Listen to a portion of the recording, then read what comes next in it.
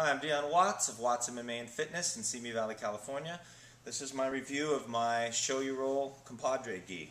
Um, those gis are still pretty popular, I think.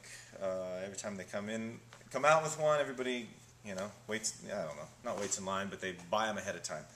Uh, so I ordered this one, and thing that I did not trust was that they said I would wear an A3, even though I was an A4, according to their sizing chart. So the entire four months I had to wait to get it, I was pretty stressed, feeling like I must have ordered the wrong size. But when it came in, it fit. So either I became a smaller person or they, their A3s were pretty big.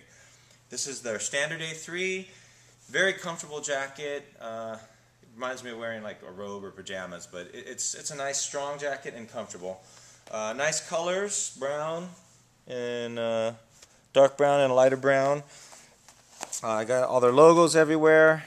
The pants, they're not the ripstop like I tend to like nowadays, but uh, but they're really lightweight. They, they feel strong, but yet they are comfortable to move in. Um, they got a lot of flashy stuff uh, lined on the inside.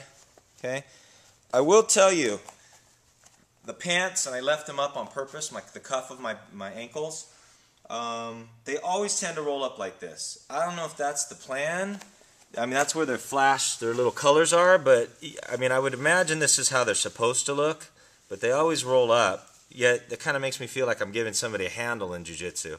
So I, I don't know. They, that's the one thing I could have done without, or I wish they would have, you know, sewn it down. But I suppose it probably just should look like that. I don't, I don't really know. Not that I sweat it too much. I'm not worried about it. Um, back to the gi. Okay, but I like their gis. I like it so much that I bought another one right after this. So, um, uh, which I'll do a review on as well, their blue version. That's it.